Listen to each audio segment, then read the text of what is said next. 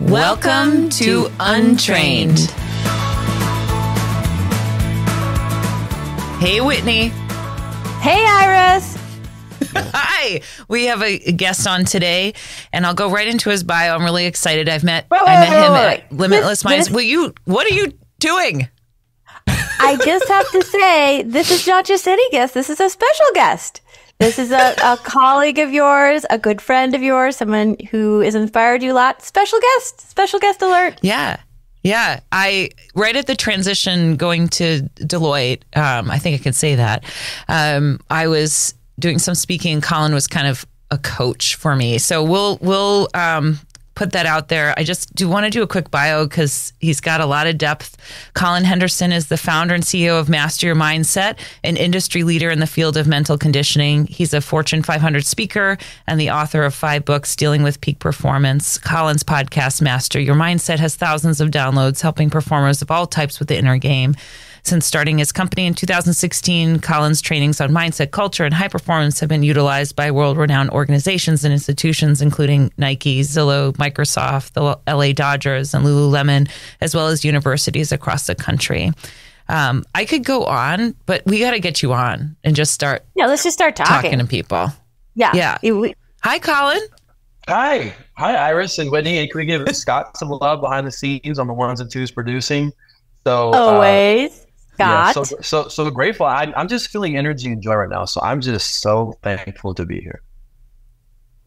Well, there's a stat that we want to serve as the foundation of our conversation today that we talked about before we officially started. Do You want to share it? Yeah, there's this concept of I think all of us want to be great. I'm guessing if you're on this podcast, you don't want to be average. You want to have a life that's abundant and um, you're having a huge impact on others, but you feel fulfilled at the same time. So let's talk about mastery and how to how to build skills. So the the research, and I want to look up where I found this, but I read this article recently, some research where it takes around 400 reps to learn a new skill. And I'm guessing if you're in podcasting, you want to learn. You're asking questions to guests, and people who are listening want to learn it better. But what's fascinating is if we're in a state of play, it's as low as 12 reps to learn a new skill. In a state of play, so laughter, humor, not taking yourself so serious, gamifying it. So maybe our, our intention today is to just just open yourself up to have fun again, to not take yourself so serious, not be so hard on yourself, to have unicorns as your special friends during the podcast. well, I I I love that the idea of play um, and and learning through play. But I also think there's an element here, and I I'm going to bring it back to the topic that I I'm like I want to talk about this one, and it's confidence because you need a level of that right to feel comfortable in your own skin to want to play right. So eh, Whitney and I talk about it a lot a lot that we have sometimes when we're out of alignment, we might be wanting to be a certain way or be seen a certain way, and we might not be feeling confident, and we can't tap into that play. Um, I know there's some we can think about like maybe if you tap into play, you can be more aligned, that kind of thing. But I do think it takes a level of confidence to sit um, in this place of play.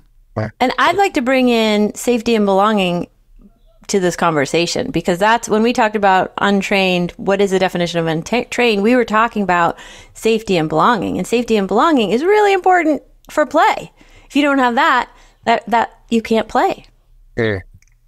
Take that away, Collin. I love that. I, I love that. what creating safety is like, I see you, I feel you, I'm, I'm here for you. There's nothing you can do that's going to make me not be your friend because I am committed to you. And um, I'm really curious about, you know, what you're experiencing and, and just, um, and, and having that, that is, that's huge, especially in podcasting where it's really vulnerable.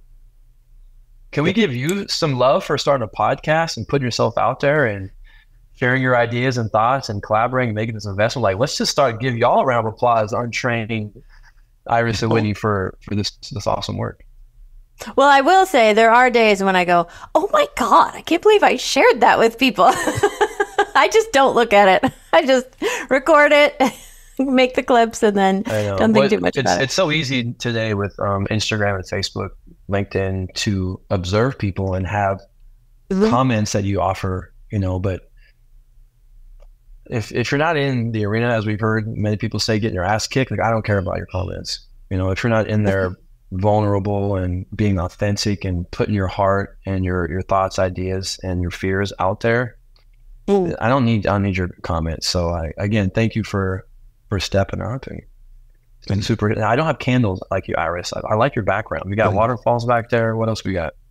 Oh, uh, yeah. For the for the podcasting audience, yeah, you can describe my uh, my background. You know, that's all Scott, our producer. He um, he makes it look nice. Um, so I just uh, I get to draft well, along. one of one of our kids drew a, a, tree on my whiteboard, so I guess I'm going to offer that to for, for the energy yes. for, for this for this episode. Well, let's go. That's let's follow tree. the let's follow the tree back to growth, back to confidence. And you, when it comes to confidence, you have an inspiring story. You, as a all the accolades that Iris read relative to your bio, it didn't start out that way. How did it start out? Yeah, I think um, having a, a, clear origin story is super powerful for yourself to, to own your story, to rewrite your story. Because I think a lot of us are holding on to, to shame and trauma about why we do what we do. But if you can shift the meaning and say that was for this, it changes everything. So that was my that was for this moment was changing schools in sixth grade. I was asked to read out loud, and I'm in a new environment. I'm in this like honors program where everyone's supposed to be intelligent. I'm supposed to be intelligent, and I had this weird thing come over me where I had this my body had a shift where I just felt so much fear and anxiety. I, I normally could read out loud, but I had this moment where I started to stutter on a word and it just cascaded and I couldn't finish reading a whole sentence, which I've done a thousand times before. And uh, there's a really good book for us to check out. The body keeps the score. The issues are in the tissues. So my yeah. nervous system said, my brain said, don't let that happen again. Don't read out loud. Don't, you know, don't be embarrassed because when that moment happened, it was such a, an embarrassing moment because when you're in, you know, 11 years old, all you want to be is liked. We're talking about safety and belonging. Like I'm a new kid in this place. I don't know. I know nobody, and now I look like an idiot. And I started creating a story. Well, I'm not a I'm not a good speaker in, in public. Maybe that's I can't do it. Maybe the moment's too big, or maybe that's a skill I don't have. Or so what you don't use, you lose. So my, my fluency actually started going backwards. I went from someone who didn't have a problem to like this one experience. I had this stigma and this imprint, this embedded uh, memory of that like shame and like I told myself I'm not a good speaker. I can't read out loud. So as I got in, you know, in seventh, eighth, ninth grade, you know, late teens, there was time in my life I couldn't I couldn't say my own name. I couldn't answer the phone. Uh, early, like in my even in my twenties, I there was times I couldn't order food through like a, a drive-through, and um, it was such a, a, huge like mental like weight that I felt that I would try to hide at all costs. So it, my my coping mechanism, I just wouldn't I wouldn't talk because I was so afraid of not being fluent. I, I just would avoid opportunities of saying something or I mean I could like I got so good at uh, masking it and I just knew that you know for several years like I would write like just pages of words that I couldn't say that I used to avoid and I, I would practice them but uh, it wasn't until I was 26, 27 years old where I'm just like, I'm so tired of this. And it, it was sparked by, we were at the Denver airport at my uncle's wedding and my dad like kind of sat me down. I was like, Collin, it's obvious that this is a struggle for you. And doing therapy and going to like speech therapy would be a, a good thing for you. And I remember feeling like, is it that obvious that like my dad is saying like, you need to do something about this? I remember just feeling like so embarrassed by this. But that sparked like you know I started being a specialist and started working on my uh, fluency. I did have a lisp really as a, as a kid, but um, I, I, overcame that. But and then the best thing that I did was I, I did Toastmasters for three years. I mean, so I I uh, I got vulnerable and I said I need help with this and and, and so I'll just kind of summarize what I learned in that experience. If you do what you fear the most, there's nothing you can't do. Mm our greatest promise lies within our greatest pain.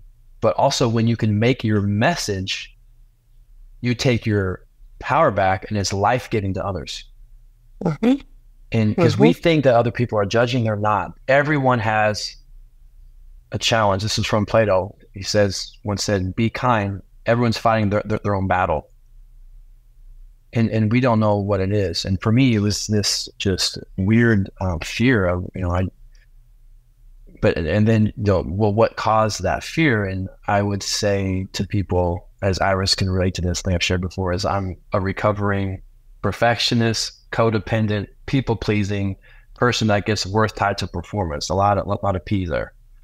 Mm-hmm. So by being a young student athlete and you just get this like praise and like you you need that external validation to say I'm worthy. Therefore, you fear failure more than. Well, you brought up a bunch of things, so we'll pull on all the strings. But you know, it's interesting because for the audience, you now you went from afraid to speak, not even being able to order something in a drive through, to commanding rooms. That's why I came to you. I came to Collin because I really resonated because I also um, I have troubles public speaking for we don't need to get into it, but I have trouble public speaking. So I came to you and I thought it was so interesting and very inspiring that you went from there to here where you're you're getting paid to do that. So how did you how did you, was there a spark inside you where you said, like, I want to speak and I want to, at, at what point did you say, I want to tell my story or I want to, this is the thing I want to pursue? Because most of the time, if we're afraid of something, we don't go, I'm going to be a really good speaker, right? So you don't, I don't know. How did you make that mental switch from, all right, well, I'm going to tell my story and I'm going to get out there? Have the confidence to do that. Well, I think that was the beginning of just going to speech therapy. And the first thing they had me do was to read a newspaper, and that was petrifying. In front of, this is at, at Washington State University, go Cougs and Pullman, there was a grad student that had her professor observing her from uh, a, a, window mirror. I couldn't see her, but I knew she was there. It was so awkward, like reading to someone younger than me, and I couldn't do it.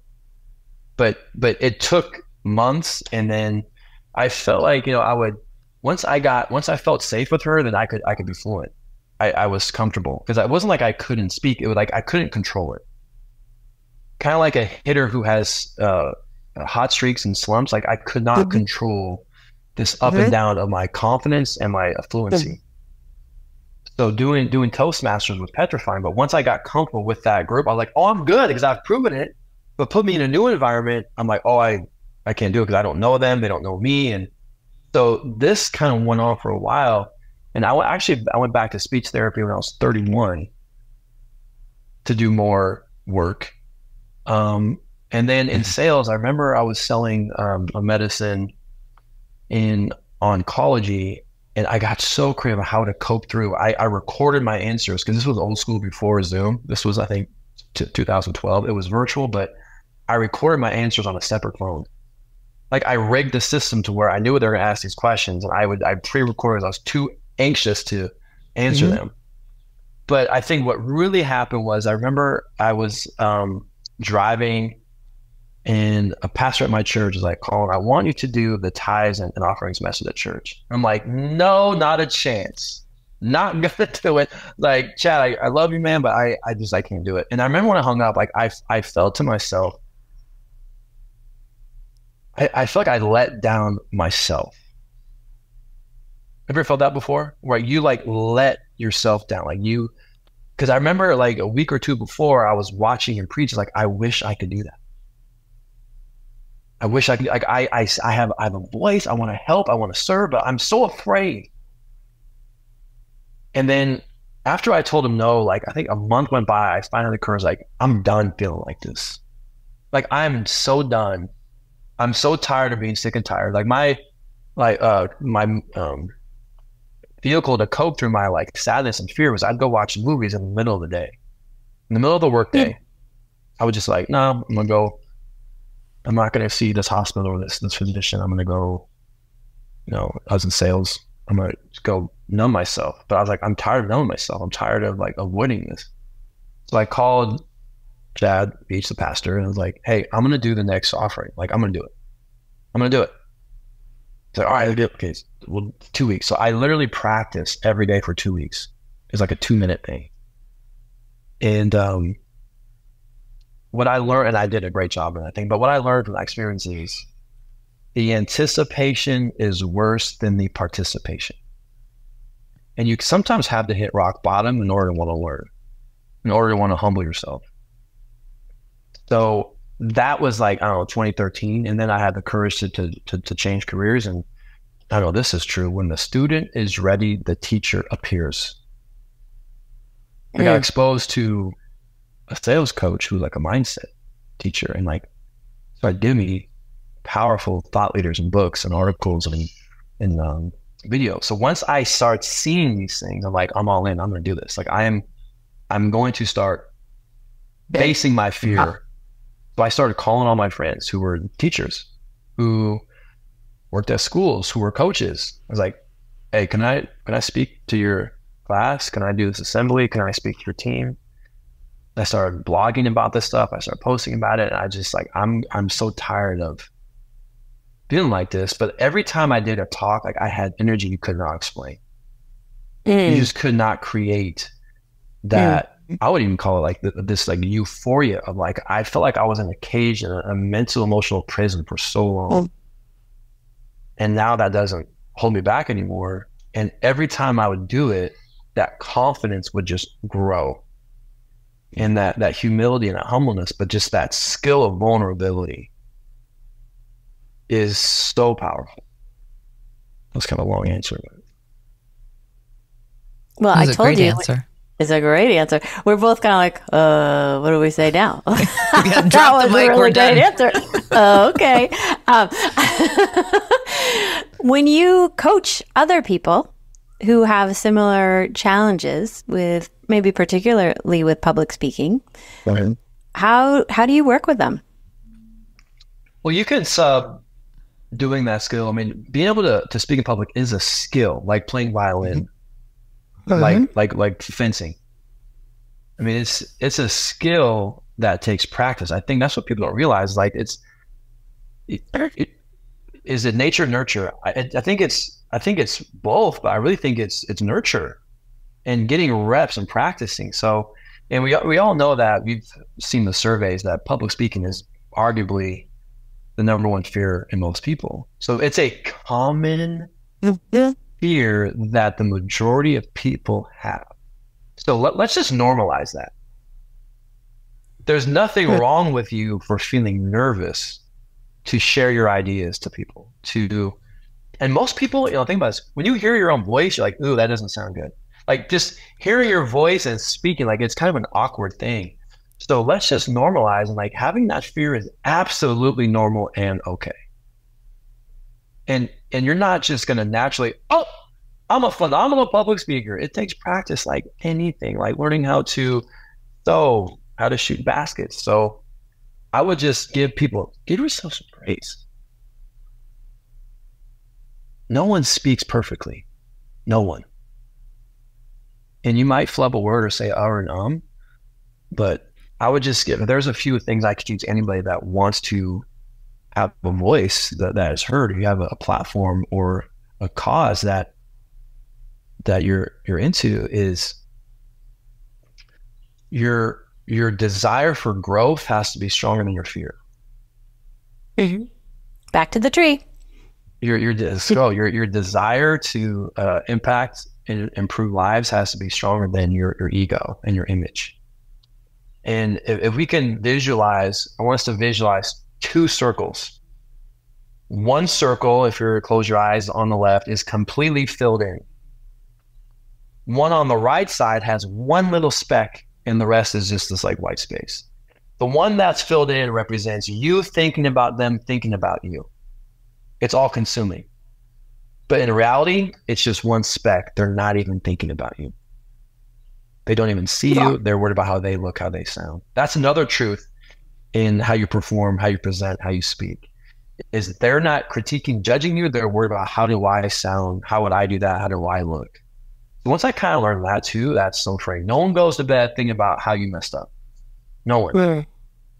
So you're putting all this pressure on looking intelligent, looking smart, and then I would say that maybe if we can do things, I like things in three. So the third thing I would just uh, help anybody with this is any great writer, speaker, was a phenomenal storyteller. So take the pressure off yourself. And you don't have to memorize facts and, and figures, but can you just tell a story from from beginning, middle, and end? So there's a scene setting, there's a, a challenge, a loss, adversity, and there's this journey along the way. And then this ending was a tragedy or this triumph. So if we could just practice just sharing stories that takes this pressure off, I would advise anybody don't read. Just tell every story. And the best story you can tell is your origin story. And the two most powerful stories you can tell is your origin and your why story.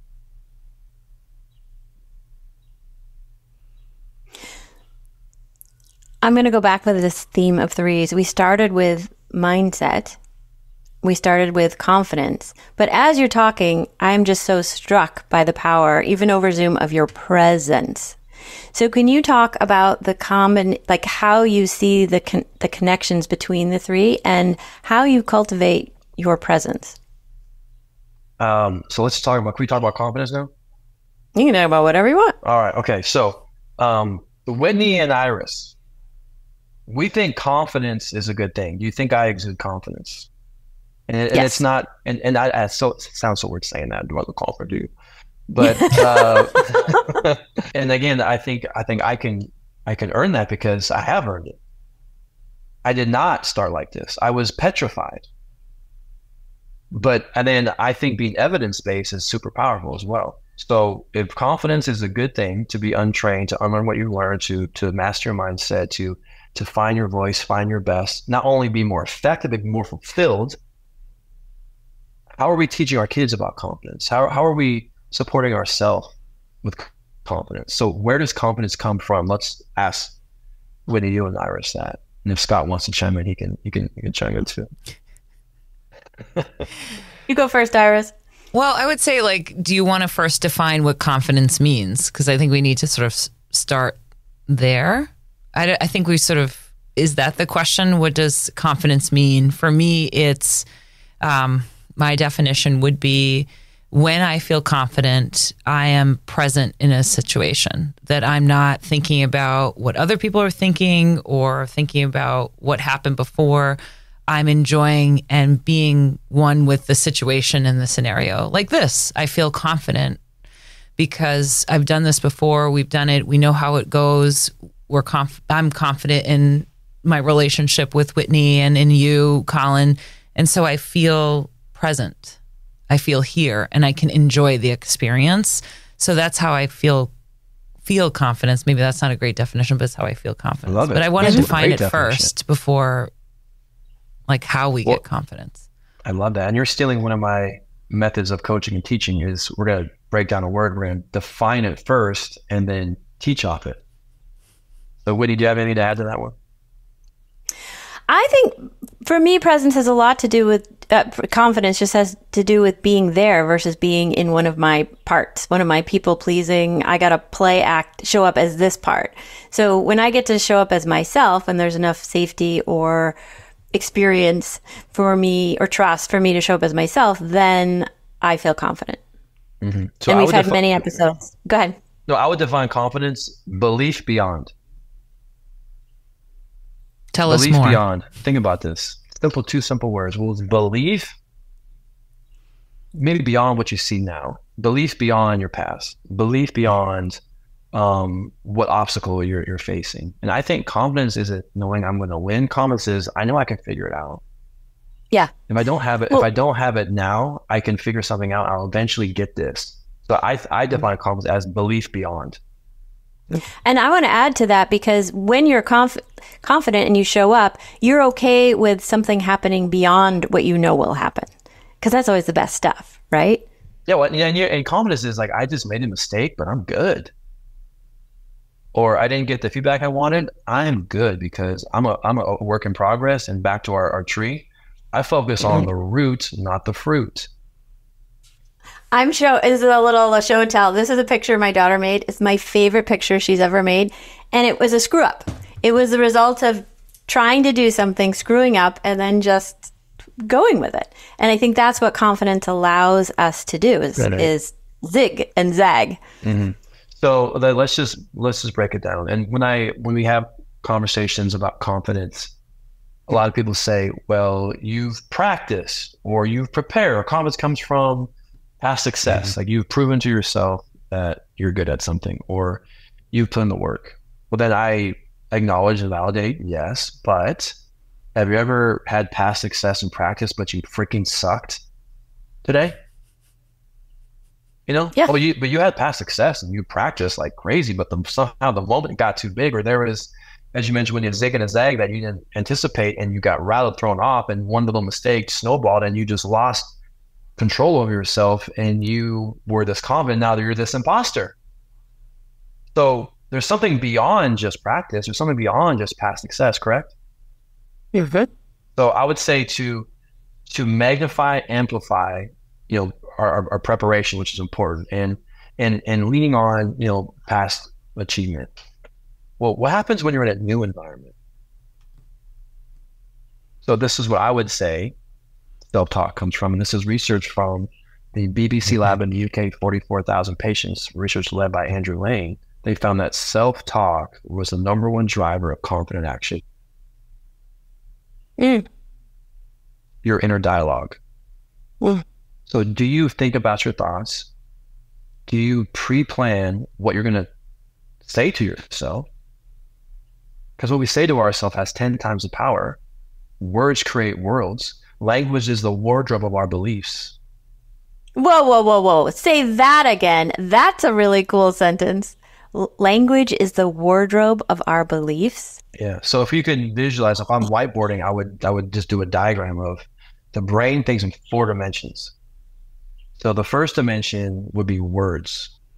So if we're taking notes today, we, I want you to write down words or tools. Because what a word thought or spoken or heard creates a picture that the brain sees. That's the second dimension. So a word will create a picture that the brain sees. And the third dimension is a word creates a picture the brain sees. The third dimension is what the body feels. Mm. and then when our body feels these things, the issues are in the tissues the fourth dimension is we hold a belief. It, just by saying in-laws, I would trigger joy or fear in people. Or if I, you know, we talk about you have, to, you, have to give a speech in five minutes. Like someone would say speech, but like, oh, like there's this like reaction. There's a there's an association with the word where memories or uh, past shame or things in the future you're you are you're uh, projecting your fears and the you know the issues and tissues. You know the um, the body produces over 300 billion cells per day. Your cells have memory. Your cells are eavesdropping on your thoughts. Mm. And, and your body and your brain is storing these things. And so you have a belief, but our beliefs are not based off of truth, but our perception of the truth. So how do we get our mind, our body in the right state? I think state is so important. And it's it's a catchphrase I use. It begins before it begins.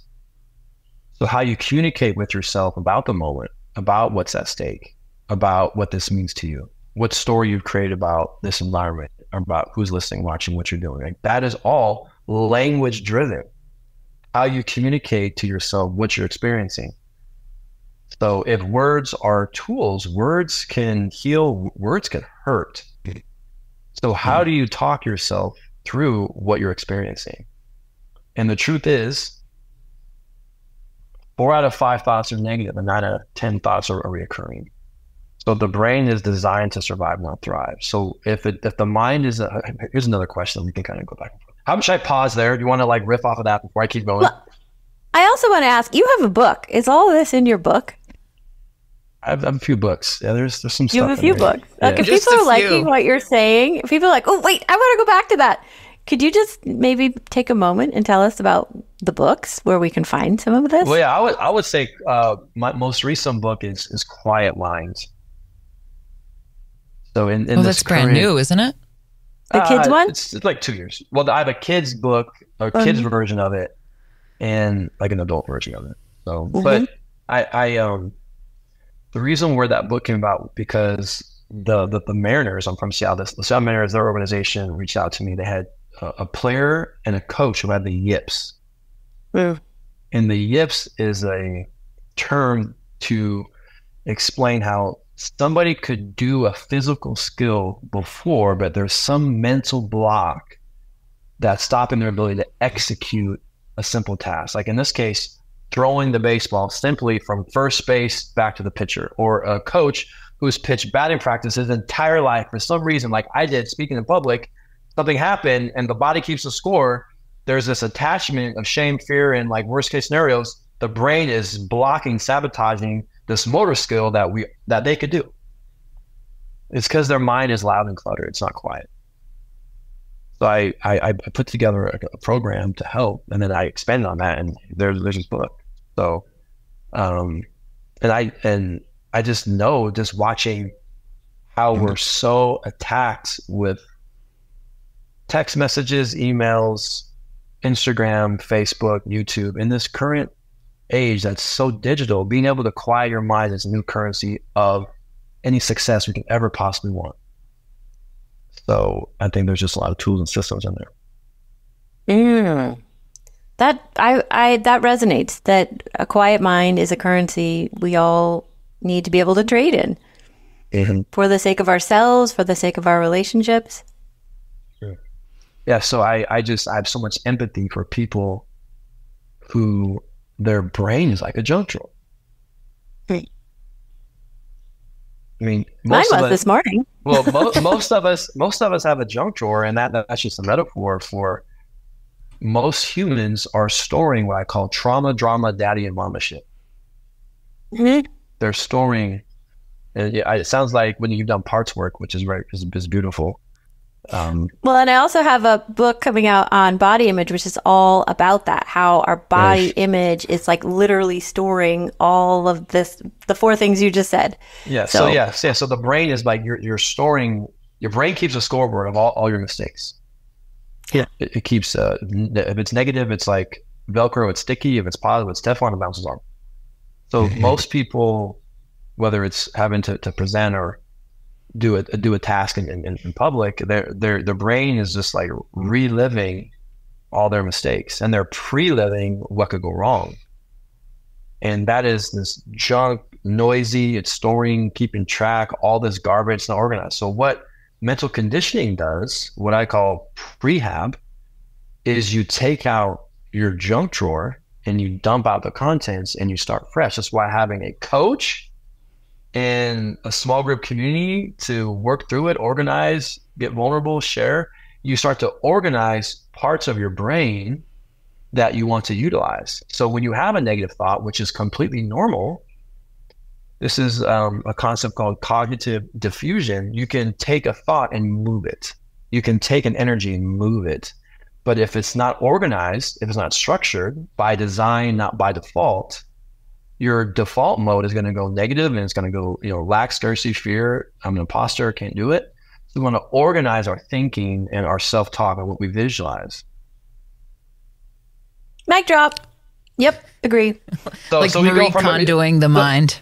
Yeah, so we yes. go from a we go from a junk drawer to a toolkit. Mm-hmm. Yeah, you open the drawer and there's a toolkit. No longer. And it takes time. So so this morning I organized our garage and I sort of put all we have a million scooters. Five kids means there's a lot of scooters in the garage. But scooters, bikes, um, we have a, a big net for a T. Our son likes to play baseball. It just took some time to organize where things went. And now I know where everything is. It's just so much easier and convenient. And like this is a metaphor when you want poise, when you want curiosity, when you want to be authentic, when you want safety, when you want self self soothing skills, you know where to go because you emotion mentally practice and you designed it.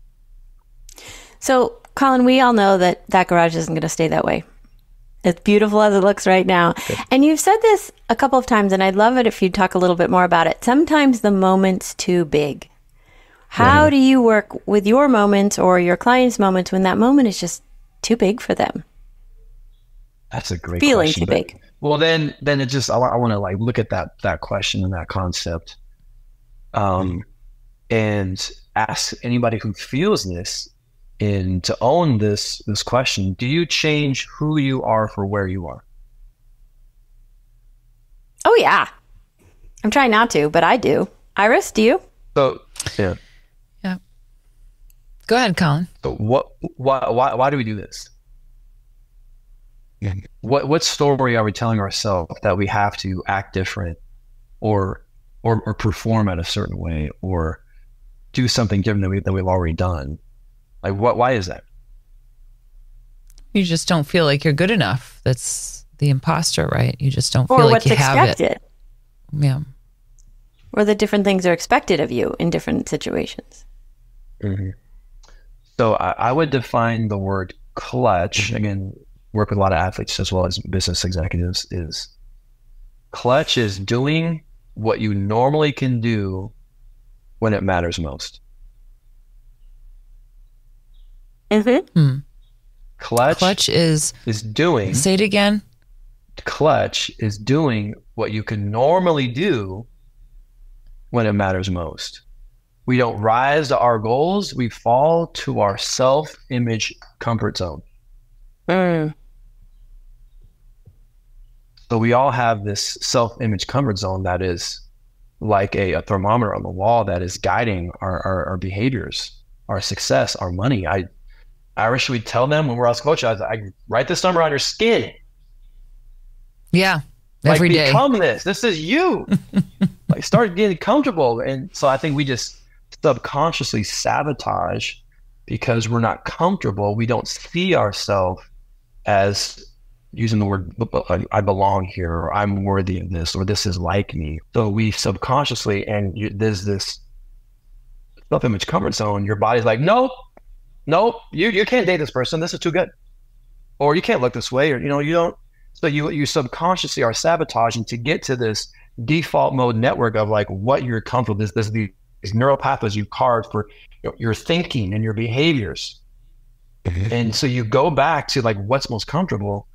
So I I think a lot of it is just um takes practice. It takes your ability to, to recognize the, these thoughts and these thinking. And and I, again i use words as tools. So when i present i anchor my performance with these words. I am authentic. I am present. I am courageous. Mm. I, I do have to add though, I, I think for me, what makes a difference is the environment that I'm in. Because I I think that there are people around you who, even though, and I've experienced this, so maybe it's just me projecting, but I could be really confident. But if you don't have people around you, if your environment isn't supporting your like inner strength, I think it's really hard because not only are you fighting yourself, but you have to fight what's around you. Because Yeah, it was interesting because I moved. Yeah, so I, I moved to Limitless Minds. I not moved, but I was working for Limitless Minds about a year ago with you, Collin. And it was the first time that I had people who were amazing speakers like you and and Henna Pryor and um, Josh. You know, they were great speakers. And then they would say, you would look at me and go, I'm going to give you some coaching. You can tell stories. You're really good at this. Whereas my previous environment was like, you made one mistake. I don't want, you know, you're not going to speak anymore. Oh right. So. I think it's really important to, to, it, we can't also underestimate that you need to double check the environment that you're in. And do you have people around you? Like for you, you had your father who's like, listen, you just need a little practice. And then you had your Toastmaster group. And then you believed in yourself, but you also put yourself in environments where people were Yeah. supporting the thing that you wanted to become. I, I love that. It's such a great point, Iris. You just nailed that one. And I, I look at what influences habit or a, a belief. So I'm, I'm visualizing a bullseye with like three rings, and the inner Right. ring is your identity, how you see yourself, how you would describe it, your values, and what's most important. The the next ring around it would be what what what habits does that type of person do? And and start to act like that, start to to to, to behave that way. But the the last ring that that influences, you know, this this um, these actions is your environment. And you're exactly right because part of my my my uh, stuttering got got exacerbated. I had a colleague that was super veteran, I was new, and he was so critical. I didn't feel safe. And then we had these verbal tests over the phone where we're paid on these verbal tests over the phone, talk about anxiety inducing. So it's true. It's finding an environment where you can thrive, finding people who are going to support you, where you, they love you. It's not conditional, you know, and it is a growth mindset and they see greatness, but there's so many bad leaders out there. There's so oh, many, there's so toxic. many people. And uh, I did a training this morning and I, I, break down the word, word leadership. This is from John C. Maxwell. Leadership is influence and influence is, is, is value but you have me centered leaders where the value is directed towards them. Every action is self serving. Where we want to be we centered, we versus me, where the action is serving a, a, greater good, us. You know, I think that also takes some of the this like pressure off too. If we can be, what's really not about me, you know? So we've been talking about a lot of things, um, and but we're we're our hope is to talk about confidence. So, sure. what are the you like threes from this conversation, Collin? What are the three things you would like to highlight um, around yeah. the topic of confidence? Yeah, that's great. Well, confidence can be trained. Let's just understand that confidence mm. is not um, just have it. confidence you can train. So I would say step one of, of elevating your confidence is is having better self talk actually mm. writing down things you want to say to yourself mm. in the mm. moment. Self talk. It's like, so, and, and part of that self talk skill is maybe even a step before that. One of the first books I read that really changed my, my mindset on how the brain works is a, a book called Positive Intelligence by Shirzad Chamine. What that book taught me is we all have this inner judge, this inner critic. Mm-hmm. Maybe even a step that would precede the self talk is noticing negative self talk patterns. What are common labels? Labels can be limiting. What what how do you describe yourself, the inner judge, inner critic? What are some common negative thoughts or labels or words that you are um, how you describe yourself or your skills, your abilities, what's at stake, what they're going to think, what they're going to do, and start to recognize is this thought serving me or is it hurting me? Is it even true? And I, I really, yeah. I really love this question from from Dr. Susan David out of Harvard. She has a really good book called Emotional Agility, and the question is, who is in charge, the thinker or the thought? Yeah. I just saw Susan David. oh yeah, Iris was just in her. Uh, I was at audience. a conference where she was. Yeah. yeah she's amazing. She's amazing. But she poses a great question to think about. So the way I teach it is, uh, Whitney, did, did you have a dog? No, I would like. Dog? I have an allergic uh, kid, but I love dogs. That happens. Iris, you have a dog? No, same. Allergic okay. kid. Allergies. well, do you ever, you know, go out on a walk and you see owners? They have a dog with them, and they're got a leash and everything, and so it's it, it bodes the question: Who's walking who? Is is the dog walking the owner, or is the owner walking the dog? That's like our brain. So if the mind is untrained, the thought will win. If the mind is trained, the thinker will win. So I would say step one of, of confidence is recognizing common negative thoughts or labels and having the power with compassion, without judgment, start training this ability to move from one thought that's unserving me to the next. This is from Ali Love. She once said, your, your first thought will be negative, but your second, third, fourth thought doesn't have to be. So it's recognizing these common negative thought patterns and then moving to, I guess, step one would be to notice. Step two would be to, by design, not by default, use language and tools to communicate and self soothe yourself through that challenge. And I'm going to go back to this idea the word, the picture, the feeling which is why I think so many coaches are, say, like, we have to practice the feeling state. So if I have these mm-hmm. negative thoughts that come in, like I had a situation over the weekend where, you know, I, I was like, uh oh, it's going to happen again. I'm going to end up with this same really destructive argument. And, uh, and my brain was like, oh, this is how it's going to go. And then I thought, oh, no, how do you want it to go? Right. So I, I set I, I, planted words I planted in my brain the picture of how I wanted it to go. Uh-huh. And then I had a lot of work to do before that conversation happened to stay true to that yeah. and watch all the negative thoughts pop up. Mm-hmm. Well, and it goes back to how we how we define confidence and belief beyond. Okay. Even though I feel like shit right now, even though I don't feel great or, you know, this is a new environment and I'm, I'm talking to these amazing world changers, Iris and Whitney on an amazing podcasts who have done amazing things on, in their own right. Like what, what, what gives me the authority? I, I mean, I'm tired. I only got four hours of sleep last night. It's, you know, summer school's out. Our kids are running around. Who knows what they're doing behind the door here.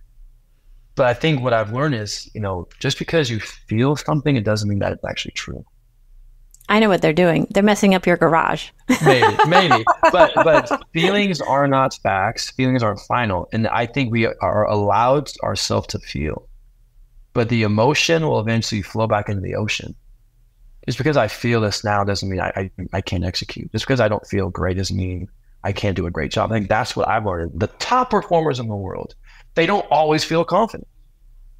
Exactly. That was they exactly what I wrote. I said they do it anyways. They just do they it do anyways. It, even though I feel like crap. And um, the question would be: Is that do, do you need your A game to win all the time? Like, do you have to have a perfect environment in order to execute? And I think that that breeds confidence, right? When you can go and do a pretty darn good job feeling like Dookie, and everyone else thought you did a pretty darn good job, like that yeah. for me is a confidence instiller. That's from that's also from Ken Ravizza, I think, from yeah, baseball, so Ken, right? He Ken, talks about Ken, the Ken Ravizza mm-hmm. is talking about um, are you are you so bad in your egg and win? Like I need someone that's got their B and C game. He's like, if you only have seventy percent, give hundred percent of that seventy percent. And he's a pioneer in the, the mental space. He passed away a few years ago, but there's just so many examples of how confidence is belief beyond. Okay, I don't feel great, but I can I can use now I will give the third one. Okay, so the first one is noticing. First one is noticing. What are what are common thought traps? What are common thought triggers, whether your environment or these patterns, these neural pathways that you've been subconsciously just grooving for, you know, and what's crazy about the mind is the brain cannot tell the difference between what is real and what is imagined. Mm-hmm. So so worrying, you're just visualizing fear. That's what you're doing.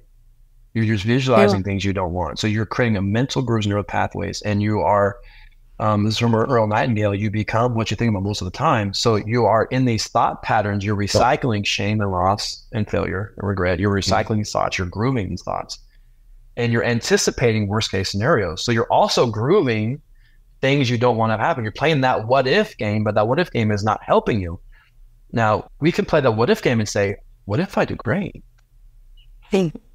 What if I'm authentic here and I just just be super vulnerable and just have a heart of love and service and just I don't need to change who I am for I am. I need to just do what I do and just just love and serve and just be myself. And I don't need to change how I speak, how I tell the story, how the antidote I give. And mm-hmm. my only job today is just to stay true to that. And and the third one so would be notice. Number two would be a redirect and have pre-plan. We call this pre-planning. Mental conditioning is pre-habits, pre-planning self-talk. You have anchor statements. Maybe it could be your mm-hmm. values. Maybe it could be a script. I mean, it could be a lot of different things. But the third thing is, I think it's so critical, is to have routines, have a process on how you activate your energy. Okay. And you would, you know, I wear certain things when I present. I don't change it. My my life motto, Whitney is, Iris may know this already. If it doesn't stretch, I don't wear it. So it has to be comfortable. But you also always have cool shoes too. So I know. You know. So when I say stretch, like I was uh, a, I'm I'm a legacy ambassador for for Lululemon. So like I just I wear nice stretchy clothes. So I have, I wear this like a similar style pant and a similar style shirt. And I know this to be true. When when you're in a performance mode, we don't want decision fatigue. And when, we, and when we have a routine of certain things, how I prepare, music, my self talk, my energy, go on a walk, whatever it is you need to do before that moment, you are cultivating calmness because you're in this momentum and in this rhythm and you keep it consistent. My, my favorite athlete of all time is Derek Jeter. And Derek Jeter is the all time postseason hits leader. His batting average was the same in the postseason during the season as spring training. He says, I treated spring training like I would the World Series. Nothing was different. Mm. I, so therefore, I'm in this moment. It's the same to me. I don't change it. So if we have some routines that we've organized that we've structured on how we prepare, how we present, how we talk, how we execute, mm-hmm. where we don't change who we are for for for for for, for where we are. It's this truth. Focus on the process, not the pressure. Focus mm. on the process, not the prize. Right, what you have control over. You have control well, over your say, process, not what other people. Right, yeah, that's do. what I mean. Yeah, exactly. Yeah, yeah.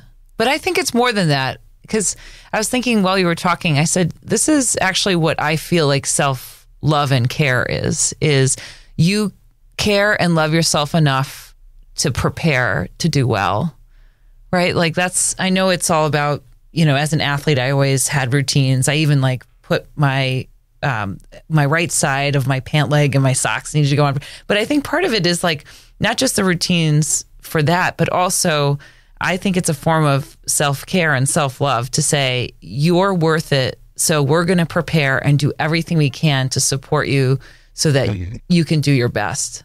That's right. that's what I was thinking. I was like, it's a great form of self love because it it it speaks yeah. to the imposter syndrome research where you know some of the ways it manifests is that you don't prepare and you wait to the last minute because you're not setting yourself up for success because you don't feel worthy of it so mm-hmm. um, it makes true, a lot but, of sense but i think we need to explore this concept of a flow mm-hmm. flow is a term coined by dr mihaly csikszentmihalyi say that say that five times fast i've tried and csikszentmihalyi but being in a flow state there's no sense of time that's that's a good thing. You're not judging or, or critiquing. You have a, a, clear goal. You're getting feedback. But I love this aspect of flow where the activity is the reward, not the outcome. Yeah. So if you can get the same amount of joy in practice as you do in games, or it's time to present, or time to persuade, or time to press record or film, or if you can have the same approach of everything is a practice. I'm in my practice right now. Whether it's recording or coaching or behind the scenes, I'm in my practice. I'm in what I'm passionate about. I'm not judging scoreboards. I'm I'm here because I'm curious.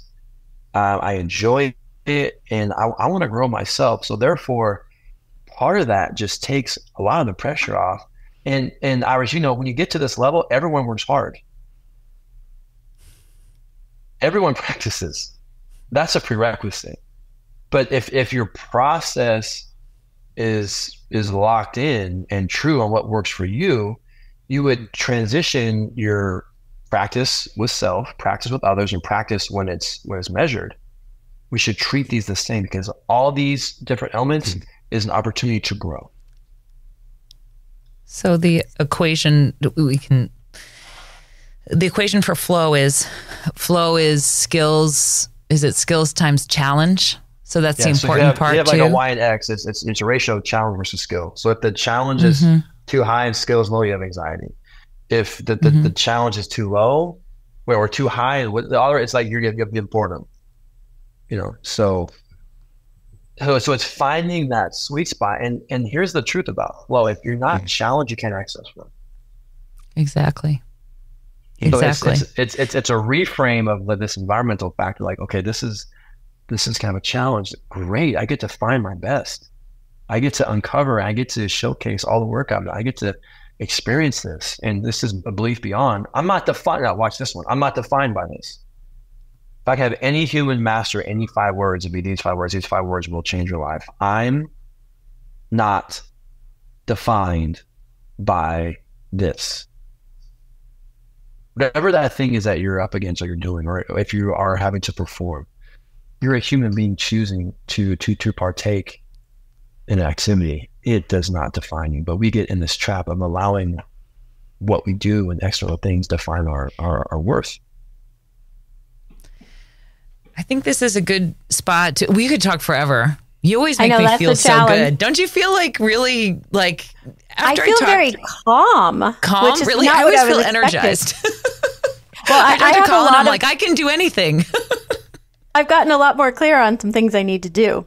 Um, sitting here listening, but I have one final question I really want to ask. You have five kids. You know so much. In this day, in this moment, what do you think is the most important thing to teach them of all that you know and have learned? This is I love this one. So parents, if you listen to this, just watch this one very closely. How you speak to your kids becomes their self-talk. What you praise what you how you describe. You know, we talk about how labels can be can be can put put limits on you. So if, if you were to label Eris my daughter, she's a picky eater. She's hearing I'm a picky eater, and you act out, you know, these beliefs on how you describe yourself or what you how you see yourself, and um, I think that is that is that is not not healthy. So if if we can be so aware of how words are tools, words are, are powerful, and how we can cultivate confidence within our kids. Allow them to try and fail. Uh, allow yeah. them, you know, to practice affirmations and, and and practice how to fail forward and celebrate failures, and and allow them not to be afraid to to try and to to um, take a risk and to to explore. So, um, yeah, I, I, have a few stories behind that, but I don't know how much uh, time we have. well, we are going to have a lot of links to ways to hear more of your stories or book you to, to tell stories um, or coach to tell better stories. So we will put all of those in our in our links. Um, but yeah, it's been it, an amazing. I love it, and I would say if, if you're and we're all parenting our, ourselves too. We all oh are, god yeah are re, re-parenting ourselves. So reparenting yourself and parenting your kids, let's just praise effort over outcome. Mm-hmm. Let's praise. There's so much data on this one on how kids perform better when they're praised on effort versus you're intelligent.